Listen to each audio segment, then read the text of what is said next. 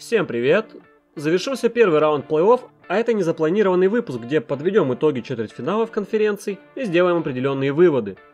Плей-офф 2021 проходит по стандартной схеме, за исключением разве что мини-турнира Play-In, в котором определялись последние два участника от каждой конференции.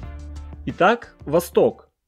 В первом раунде нас ждало две серии с громкой вывеской – Повторение прошлогоднего финала конференции Милуоки-Майами, а Бруклину противостоял Бостон, прошедший в плей-офф как раз через плей-ин. К сожалению, борьбы не вышло ни там, ни там. Финалист 2020 года Майами Хит на этот раз ничего не смог противопоставить Милуоки. Единственная действительно интересная и напряженная игра серии – это первая встреча, в которой командам понадобился овертайм, а победу Бакс принес точный бросок Криса Миддлтона за полсекунды до сирены. Остальные матчи – это вынос тела, Трудно сказать, как могла бы повернуться серия «Победи тогда Майами», но сомневаюсь, что кардинальным образом. Хит по ходу сезона сталкивались с травмами, ковидом и нестабильной игрой, что вылилось в борьбу не за тройку сильнейших, а за то, чтобы избежать плей-ин. Майами удалось залезть на шестую строчку, но той магии, которая была присуща флоридцам в прошлом плей-офф, вернуть так и не удалось. Помимо лидеров Батлера и Адебайо, которые по умолчанию должны играть хорошо, тогда выстрелили одновременно Драгич, Хиро и Данкан Робинсон. Сейчас же молодые снайперы не показали выдающихся цифр. Более того, Джимми Батлер провалил серию, атакуя с отвратительным процентом. А лучшим скорером хит стал 35-летний ветеран Драгич с 16 очками за игру. Бостон на протяжении всей регулярки болтался в середине таблицы, периодически вываливаясь за пределы восьмерки. Непривычная ситуация для команды, которая в трех из четырех последних сезонов доходила до финала конференции. Уход Гордона Хейварда в Шарлотт сильно сказался на глубине состава, большая часть которого необкатанная молодежь, взятая на недавних драфтах. Единственный позитивный момент для Celtics это наличие Тейтума и Брауна и их прогресс. Однако перед плей-офф стало известно, что Джейлен Браун пропустит остаток сезона после операции на локте, поэтому встреча с Бруклином скорее носила уже формальный характер. Главное было не отлететь 0-4. Тейтум вытащил на своих плечах одну игру, набрав рекордные для себя в плей-офф 50 очков в третьей встрече. Бруклин же, который по ходу сезона катастрофически редко играл в оптимальном составе из-за травм, на этот раз обошелся без повреждений. Все три лидера провели первый раунд на уровне. Серия между Нью-Йорком и Атлантой считалась, пожалуй, самой непредсказуемой. Обе команды молоды, без большого опыта игр на вылет, за исключением нескольких игроков. И начало серии получилось очень ярким. Болельщики в Мэдисон Сквер Гарден неистовствовали, вот слово-то нашел, всячески пытались морально подавить игроков гостей, скандировали... А команды обменялись победами. К сожалению для фанов Никс, Атланта взяла три следующих игры и с ними серию 4-1. Что интересно, в сезоне Нью-Йорк победил во всех трех матчах против Атланты, позволив Янгу забивать лишь 36% бросков с игры. Джулиус Рэндалл, напротив, был неудержим, набирая по 37 очков в среднем. В плей-офф же ситуация изменилась. Рэндалл набирал всего по 18 с процентом 29,8. В противовес, Янг имел 29 очков и почти 10 результативных передач. Для Нью-Йорка не произошло ничего критичного. Сам выход в постсезон можно считать успехом. Как сказал Том Тибадо, этот сезон был нужен, чтобы построить фундамент и сформировать правильные привычки. Дальше перед командой будут стоять более высокие цели. Напомню, что в межсезонье Нью-Йорк будет иметь примерно 60 миллионов долларов платежки на подписание свободных агентов. Правда, выбор игроков в этом году не очень богат. Главным вопросом серии Филадельфия-Вашингтон был, сколько трипл-даблов сделает Уэстбрук и возьмут ли Wizards хотя бы один матч. Рассел делал трипл-даблы в трех из пяти игр, а его средние показатели по серии составили 19 очков, 10,5 подборов и почти 12 передач. 76-е не испытали особых проблем с тем, чтобы вскрыть оборону столичной команды, собственно невелика задача. А сами ограничили Wizards лишь 29% попадания из-за дуги, Брэдли Билл набирал свою стабильную тридцатку в среднем, но попал лишь 22% трешек. Сиксерс выиграли в пяти встречах, но потеряли Джоэла Эмбида из-за частичного разрыва мениска.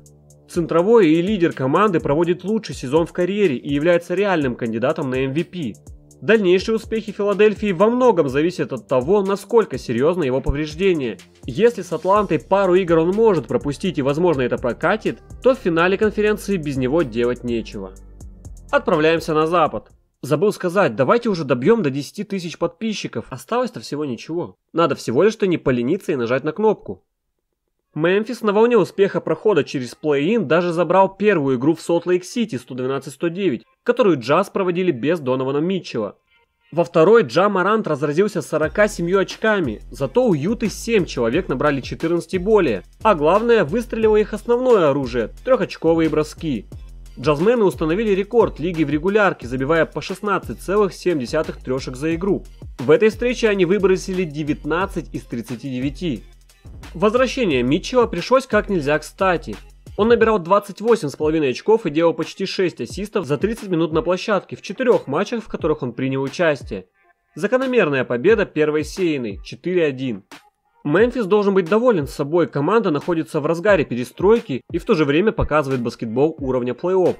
Юта же пока идет четко по сезонному графику трешек, причем попадая их с процентом 45.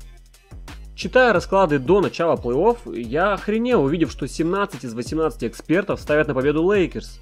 Я понимаю, они действующие чемпионы и бла-бла, но то состояние, в котором они подходили к плей-офф, не позволяло их назвать не только фаворитами на победу в чемпионате, но даже на проход во второй раунд.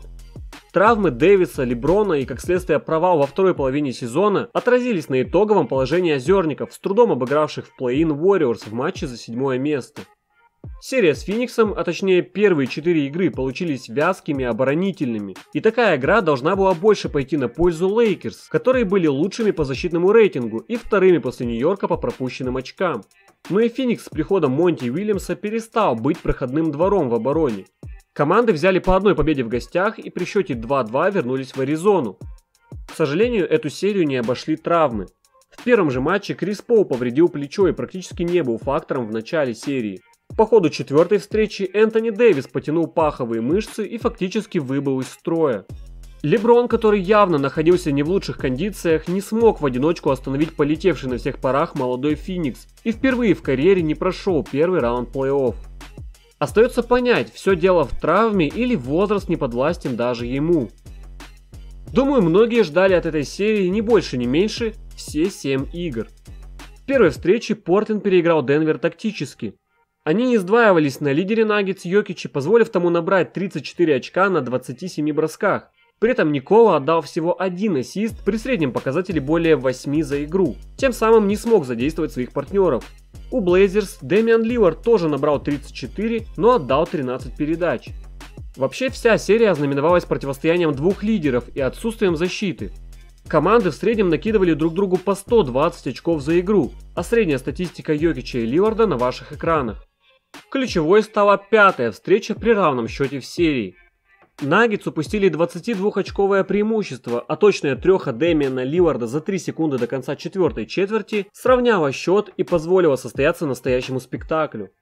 В овертайме Денвер вел плюс 9, но вновь Лиллард своими трешками держал Портленд на плаву. Он набрал 17 из 19 очков своей команды в двух овертаймах, 55 очков в матче и забил рекордные для плей-офф 12 трехочковых.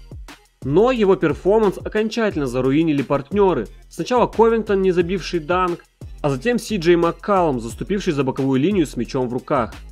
Блейзерс уступили во втором овертайме 140-147, а затем упустили двузначное преимущество по ходу шестой игры и проиграли серию 2-4. Поражение в первом раунде стоило Терри Стоцу место главного тренера Портленда после 8 лет в клубе. Ну а единственная серия, в которой победитель еще не выявлен, это противостояние Далласа и Лос-Анджелес Клиперс. Там счет 3-3, а решающая игра пройдет завтра. Здесь эксперты вновь единогласно отдавали предпочтение команде из города Ангелов. Однако Маверикс повели 2-0, взяв две гостевых встречи, в которых попали 35 трешек с процентом 50. Казалось, Клиперс ждет катастрофа уже в первом раунде, но они сумели вернуться в серию благодаря гостевым победам, а в шестом матче при счете 2-3 Кавай Ленард выдал гениальное представление. Он набрал 45 очков, попав в 18 бросков из 25, а также положил два важнейших трехочковых в концовке. LA наконец-то включили свою защиту, которая, как обычно, на бумаге выглядит гениально, но вот в играх далеко не всегда работает, позволив Далласу набрать лишь 20 очков с процентом 29 на последнем игровом отрезке.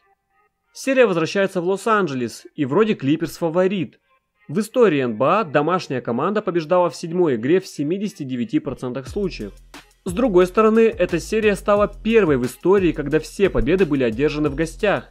Поддержит ли Даллас этот тренд до конца, или Клиперс станут 106-й домашней командой, закрывшей серию в седьмом матче?